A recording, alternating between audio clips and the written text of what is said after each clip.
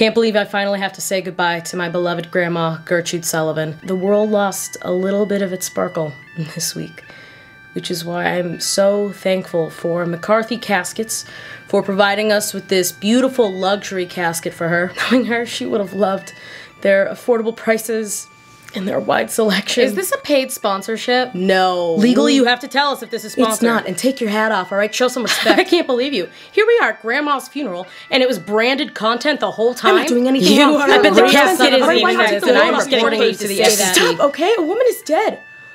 A woman that we all loved. She wouldn't want us sitting here fighting while we're trying to send her off. She would have wanted us to remember her fondly, all right? She would have wanted us to share memories and laugh and keep her memory alive.